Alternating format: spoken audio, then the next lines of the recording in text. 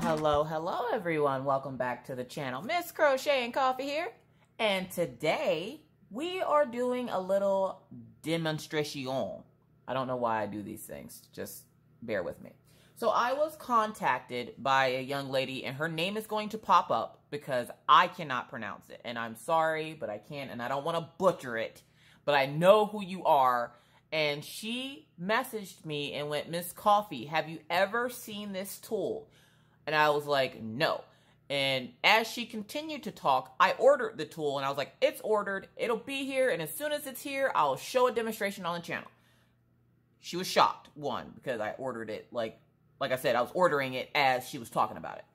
So, if you find any cool, quirky little diamond painting tools that you would like demonstrated, send me a message. I'll buy it, try it out on a channel, see if it's worth you spending your money on it. Again, let me waste my money before you waste yours, all right? Cool? Cool. All right, so this is called the Sweep and Pickup Drills Diamond Painting Drill Cleanup Tool. That's a lot. That's a whole mouthful, okay? Have you ever found a cool tool that you've been curious if it works? If you have, leave a comment below. Question of the video. All right, so here it is. It only took it a couple of days to get here because I got it off Etsy. Of course, I will have it linked in the description box below. I haven't opened it yet. I've had it for a couple of days, and I was like, oh, okay. I couldn't remember what it was, and I was like, oh, okay, that's what it is. So it came in this bubble wrap, and then it comes in plastic like this. It looks like a little makeup brush. So let's see. Oh, the back of it already came off. All right, all right, come. It's, I think it's squishy. Okay, we're just gonna... The craft savagery is real. That's a new thing. Look it up. Oh, okay. So yeah, the, the back of it is like squishy and sticky. So I would have to say you're going to want to keep this somewhere where you're not going to get like dust or debris on it. Debris being debris. Oh, it picks up stuff. Okay, so what this tool is for, and this tool was only like seven bucks, okay? So what this is for is for us clumsy folks, okay? So you're diamond painting, you're having a good time, you're laughing and chuckling at my videos or in my live. Ha ha ha, oh no, I spilled drills everywhere. All right, so this tool is supposed to help you, one, sweep them back into place. You gotta use your little makeup brush here, you sweep them back into place, I mean. So you sweep them up, and then you take the butt end of it, and you pick them up. Oh, Look at that. Get down in the business. You got to see this. So it picks them up. And then you can just put them back in your container. And it doesn't stick to them like hard, so you don't have to like really pick at them. You just kind of knock them off without getting that. Now the plastic thing won't, or the squishy thing won't, doesn't want to seem to stay in there when you're picking it off, but that easily goes back inside of there and you just pick them up and then you just brush it off.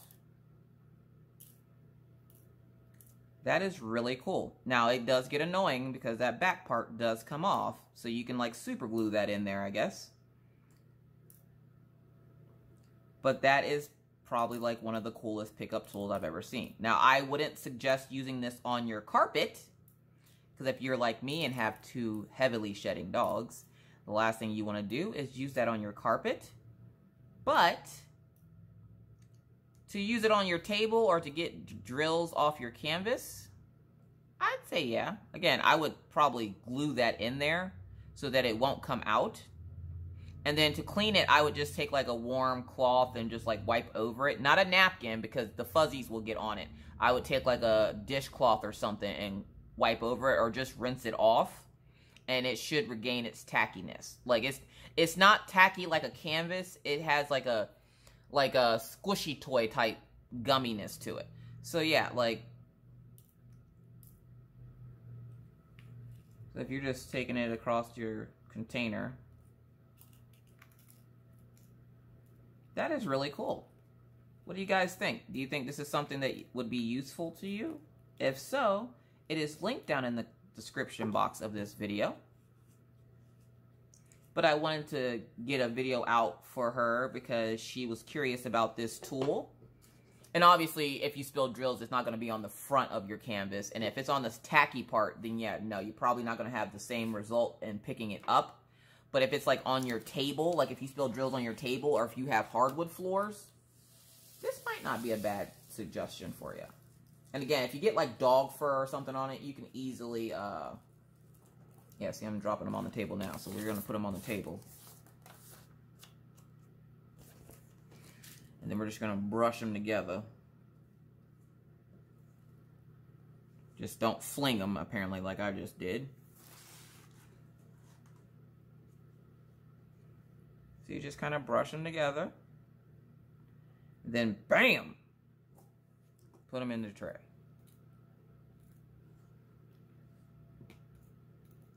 And it's squishy, so you can press down pretty hard with it. Because at this point, you're probably upset that you spilled the drills in the first place. So I would definitely say that if this is something that you think you could get use out of, I would say get it. It's a cool little novelty thing. Um, obviously, you don't need anything like this to pick up your drills. You can always, you know, just pick them up by hand or with a spoon or something. But that actually is a quite nifty tool to have. Again, it was only seven bucks on uh, Etsy. I will link it. So there you have it. New little diamond painting tool that we found over on Etsy thanks to, and again, her name is going to pop up because I can't pronounce it. So thank you so much for watching. If you like this short little video on how to use this tool and you have a cool tool idea, you can shoot me a message if you have a cool tool mm-hmm. idea that you would like me to try out. If you like this tool, please give the video a thumbs up. If it's something you would use, write that down in the comments. I don't know. So yeah, that's it for me, folks. Very short video. Thank you so much for watching. If you have any questions, comments, or concerns, please put them down in the comment section below. But if that's it, that's it for me. So thank you so much for watching.